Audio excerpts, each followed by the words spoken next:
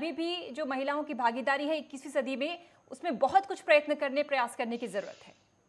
बिल्कुल, इसीलिए तो मैं बात कर रही हूँ क्योंकि भागीदारी, अगर देखिए पचास परसेंट आबादी है महिला और पुरुष की तो अगर पुरुषों की हमें भागीदारी हर चीज़ में आगे नज़र आ रही है तो महिलाओं की क्यों नहीं नज़र आ रही? इसका मतलब महिलाएँ इतनी सक्षम तो हैं, इस, ऐसा नहीं है कि उनमें टैलेंट की कोई कमी है। ये है कि उनको मौके थोड़े कम मिलते हैं।